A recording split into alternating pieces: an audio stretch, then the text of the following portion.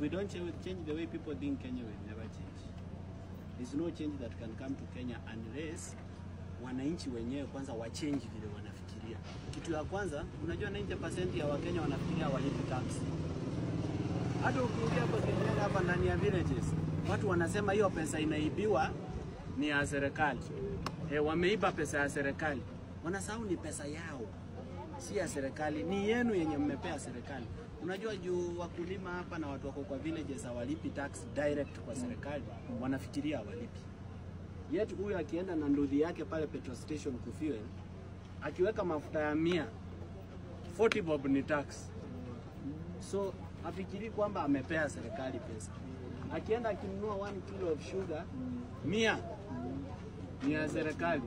So yeye yeah, aoni juu hajaipea direct, aoni kama ni pesa yake. So ikiibiwa ashughulike. Morara Kebaso is back like he never left, and this time round he has gone in another level and he has gone to an extra level of civic education. This time round he was in Murang'a County in the areas of Mount Kenya region. And he has decided to start sanitizing the project which he had not started and this goes out to roads. For example, while he was in this region, he decided to talk to the people who are around and was giving them civic education in the best way possible.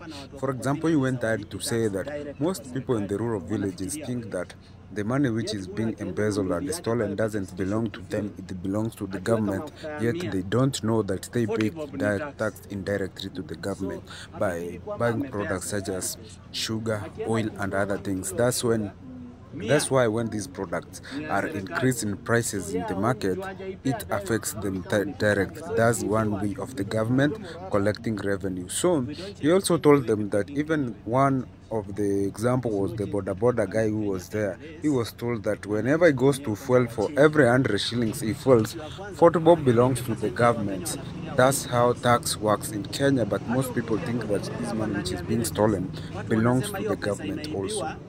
In another area we've noticed that most people most people don't know that to change this country they have to change their way of thinking and that's the only way they can influence the coming general election of 2027 it's now very clear that morara kebaso will be in the ballot even if the fights have started in the other side which is opposing ruto where we saw somebody like Masi Tarus trying to start fighting morara kebaso directly by saying that morara kebaso has stolen a slogan from him. But i think that was very petty from Masitaru. So, a lot is happening. I really urge you to stay tuned to Morah TV because we are going to unearth all these things which are happening and inform you as soon as they arrive to our news desks. Stay tuned.